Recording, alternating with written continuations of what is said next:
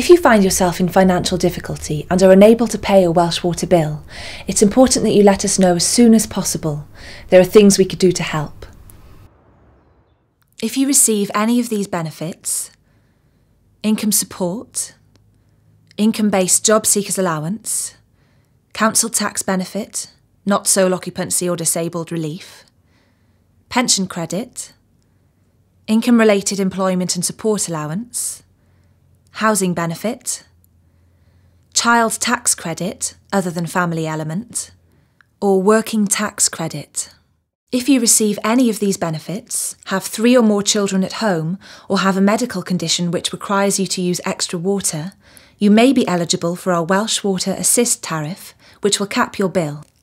Having been on the Welsh Water Assist, um, it's really sort of made things a lot easier. Just even having that sort of weekly small amount back has made a difference to me paying other bills or going on, you know, the children. Well, financially, since I've been on it, it's a huge difference. Um, we had £130 back payment, um, which came in handy for Christmas. It was just before Christmas, which was lovely, as you can imagine. And we've saved an overall yearly of £220, which is amazing.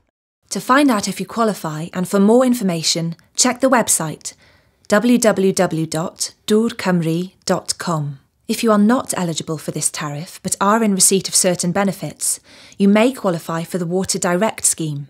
This will reduce your yearly charges and all you have to do is pay us directly from your benefits. Income support, income based job seekers allowance, pension credit, or employment support allowance. I'm a single mother with three children, which is great on time, so financially it can be a bit of a struggle. My rent is paid through my wages because I work for the council. So they take deduct my rent then out of my wages, which is easier for me. Water bills are included in the rent, yeah. Um, a council man came and knocked my door with all the forms, told me all about it, helped me and filled the forms in for me, and then sent me a cheque.